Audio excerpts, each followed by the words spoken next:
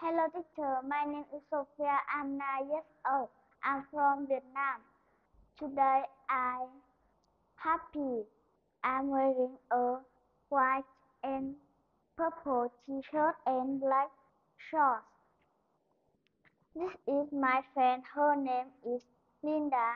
She wearing a pink t-shirt, gray trousers and blue and blue shoes.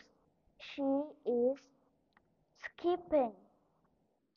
This is my friend. Her name is Cherry. She wearing a purple t-shirt, purple skirt and orange shoes. She is running. And this is my friend. Her name is David. He wearing a green t-shirt, gray shorts and orange shoes. He is playing in the slide. Goodbye teacher.